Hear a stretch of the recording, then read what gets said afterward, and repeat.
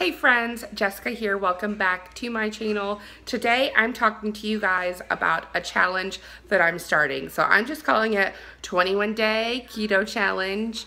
And I decided to do this because July has been really crazy. So June was a really good month for me and uh, um, I hit my first goal weight and it was so exciting. And then we got into July, really the last week of June.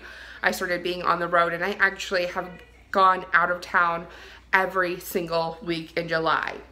Some weeks it was just for two days and not the whole week, but still it causes so much stress and so much chaos when I'm traveling like that. So July has not been a great month and I've gained a few pounds back and I really want to get those off because starting the last week of August, we're going right back into some craziness and you know, I don't want to hit my keto anniversary being the same weight that I started. So I've got to take these few weeks where I'm going to be at home and use them to the fullest.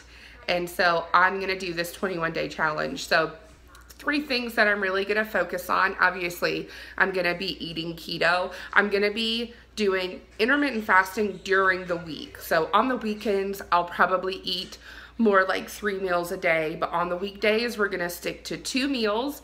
I want to track everything. So I'm not gonna do a daily video like I've done for challenges in the past because I just don't do well with that. So I'm going to film every day. I'm gonna film what I ate and then at the end of the day, I'll include a screenshot of my macros for that day. And so then at the end of the week, so after the first seven days, I will upload a video that is just week one and it'll show everything that I ate throughout the week and my macros each day. So I'll do that at the end of the week and I will probably do a weigh-in. I haven't decided if I'm gonna do a weigh-in or not, but that's my challenge. So I'm gonna do intermittent fasting. I'm going to track each day and I think that's it. Eat keto, track everything, and vlog it for you guys. So I'm really excited about this challenge. I have been really feeling the consequences of eating off plan. I've not been feeling good and so I'm excited to, you know, get back going, get back on track and hopefully the momentum that I gain on this 21 day adventure will just push me on through the traveling that I'm going to be doing later. So today is actually Saturday, but this video is going up on Sunday. So Sunday will be the first day. And so next Sunday, you'll get to see my week one results video. If you feel like participating in this challenge too, it doesn't have to be the same thing that I'm doing.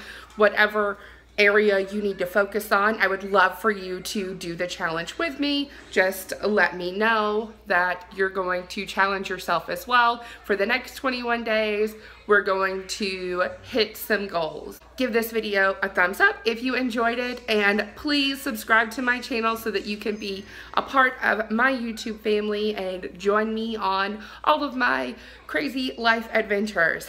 Thanks y'all. Have a good day.